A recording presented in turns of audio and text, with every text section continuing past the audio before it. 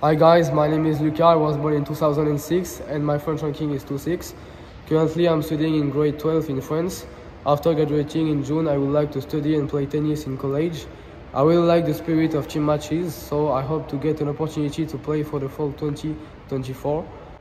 This is my recruiting video. Hope you guys will like it. Thanks for watching.